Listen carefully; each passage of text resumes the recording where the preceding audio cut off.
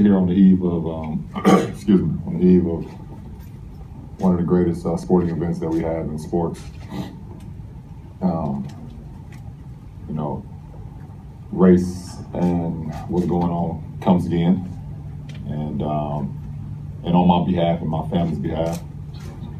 But I mean, I look at it as this. I mean, if it's if this is a shed of light and uh, continue to keep the conversation going on my behalf, then then I'm okay with it. Um, and my family is safe. Um, at the end of the day, they're safe, and that's the most important.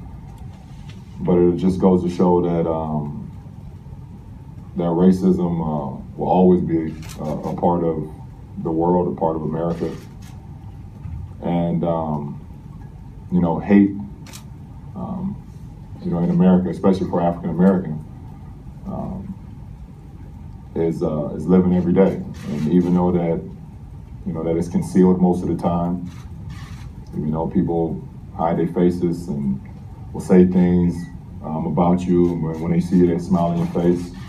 Um, it's alive every single day. And um, and I think back to Emmett Till's mom. Actually, it's kind of one of the first things I thought of. And reason that she had an open casket is because she wanted to show the world um, what her son went through as far as a hate crime and, you know, being black in America. Um, so it's like it doesn't, no matter how much money you have, um, no matter how famous you are, no matter how many people admire you, um, you know, being being black in America is it's tough, and uh, and we got a long way to go. Um, you know, for, for us as a society and for us as African Americans until we until we feel equal um, in America. And um, you know, but my family is safe, and um, you know that's what's that's what's important. Same row on the aisle here. LeBron Tony Zarrella, Cleveland 19. Uh, that's such a, a, strong statement from you, and and now we turn it to basketball when you're talking about real life issues. How do you, you know, move on to that, looking ahead to tomorrow night, knowing that this took place? Well, I mean, at the end of the day, um, I'll be focused tomorrow on our game plan and focus on these games. Um, but also know what's. I mean, I'm at a point in my life where my priorities is in place and uh, basketball comes second to my family. Um, it actually comes, um, you know, after me continuing to be a role model to the youth, and uh, and what I do as far as with my with my foundation, um, it won't take no. Uh, I will be as focused as I can be on, on the job at hand tomorrow. Um, but it always, you know, this is a situation where you know just puts me back in place of what's actually more important, and um, and uh, basketball is not the most important thing in my life. Next question in the back. Robert Littal, Black Sports Online. At this point, LeBron, going to so many finals, I'm sure you've heard almost every type of question, answered every type of question. Do you mind telling us a, a story or an experience uh, from your finals experience that maybe we haven't heard before?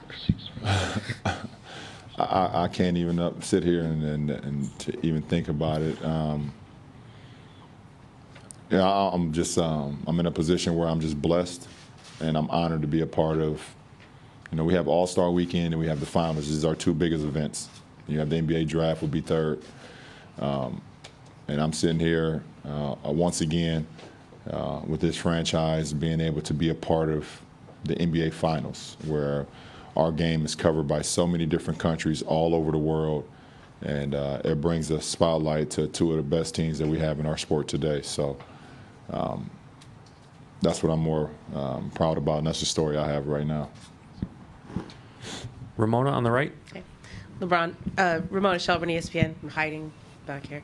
Uh, what's your relationship with Kevin Durant like? I know you guys spent time together in the off season. You played on national teams, and uh, like I know in 2011, didn't he come out to Akron to come train with you a little bit? Do you do you have that relationship still, or is it healthy competitive? Our relationship was very good.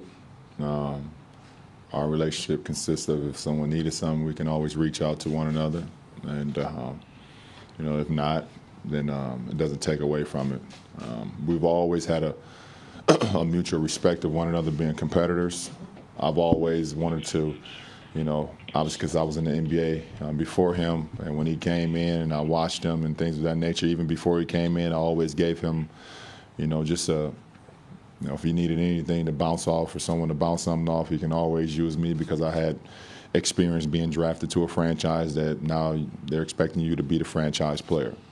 You know, so with him going to Seattle, you know, he always could use me and things of that nature. And so all over the course of the years throughout his uh, um, throughout his journey, um, I've always had an open door policy, and um, you know, with KD, and uh, so I guess that's what, I mean, pretty much it. Over here on the aisle.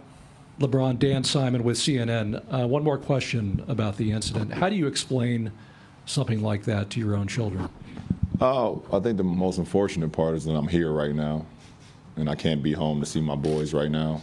My little girl is too young to actually understand it right now, but um, I can't sit in front of my boys right now, and I won't be home until next week. So this is kind of killing me inside right now, but my wife is unbelievable. My mother, my mother-in-law, my sister-in-law, they're going to do a great job of, um, you know, talking to them when they get home from school today. Um, because of Apple uh, being so great, I can't FaceTime them, and um, uh, but I like to do face-to-face conversations when it becomes with a situation like this. But you know, have that's the I've talked about this before. You know, having two sons, uh, two sons that's very. Um, um, they have great minds. They're very uh, open to life and, and, and love life and things of that nature. So um, for me to be able just to try to give them the blueprint as much as I can on what life has to offer, um, you know, but at the end of the day, they're going to have to walk their own path. And hopefully I give them enough life skills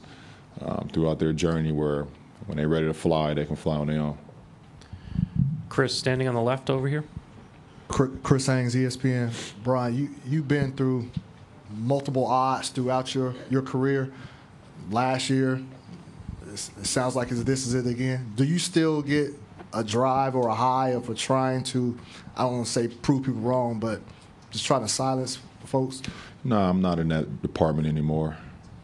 I left that in the 20s. I'm not in the prove people wrong, silence critics, people department no more.